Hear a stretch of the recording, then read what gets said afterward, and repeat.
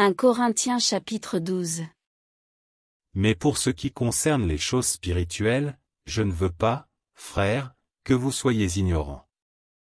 Vous savez que, nation, vous étiez conduits vers les idoles muettes, selon que vous étiez menés. C'est pourquoi je vous fais connaître que personne, parlant par l'esprit d'Élohim, ne dit, Yehoshua est anathème. Et personne ne peut dire, Seigneur Yehoshua. Sinon par le Saint-Esprit. Or il y a diversité de dons de grâce, mais c'est le même esprit. Il y a aussi diversité de services, mais c'est le même Seigneur. Il y a aussi diversité d'opérations, mais c'est le même Elohim qui opère toutes choses en tous. Or à chacun est donné la manifestation de l'Esprit pour être utile.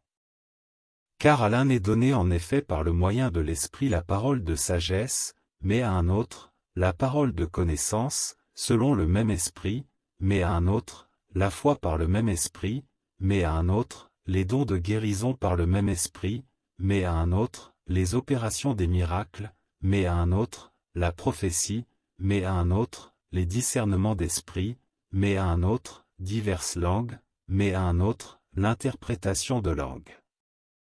Mais un seul, et même esprit opère toutes ces choses, les distribuant à chacun, en particulier comme il le veut. Car, comme le corps est un, et qu'il a beaucoup de membres, et que tous les membres de ce corps qui est un, bien qu'il y en ait beaucoup, sont un seul corps, de même en est-il du Machia.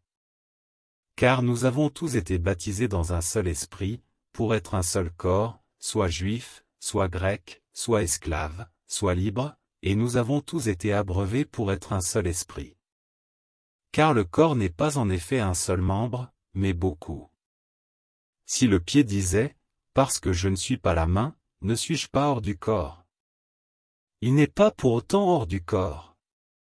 Et si l'oreille disait, parce que je ne suis pas l'œil, ne suis-je pas hors du corps? Elle n'est pas pour autant hors du corps. Si tout le corps était l'œil, où serait l'ouïe Si tout était l'ouïe, où serait l'odorat?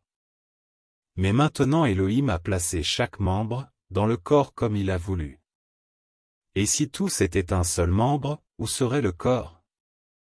Mais maintenant, il y a en effet beaucoup de membres, et un seul corps.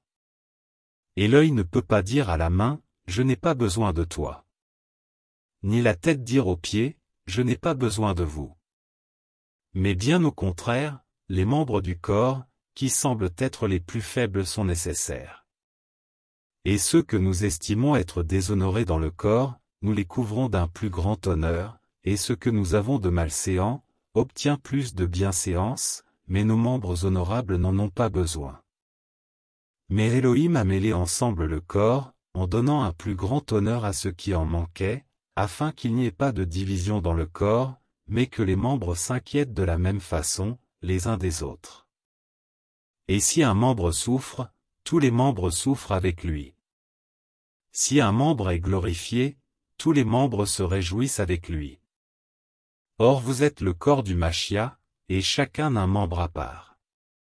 Et Elohim a en effet placé dans l'assemblée premièrement des apôtres, deuxièmement des prophètes, troisièmement des docteurs, ensuite des miracles, puis des dons de guérison, des secours, des gouvernements, des langues diverses. Tous sont-ils apôtres? Tous sont-ils prophètes? Tous sont-ils docteurs? Tous ont-ils le don des miracles? Tous ont-ils les dons de guérison? Tous parlent-ils en langue? Tous interprètent-ils? Mais désirez sincèrement, les dons les plus utiles. Et je vais encore vous montrer le chemin, par excellence.